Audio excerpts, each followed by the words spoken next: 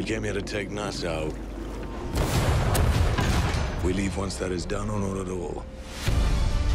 End this quietly and easily and definitively. Today is the day the pirate resistance dies.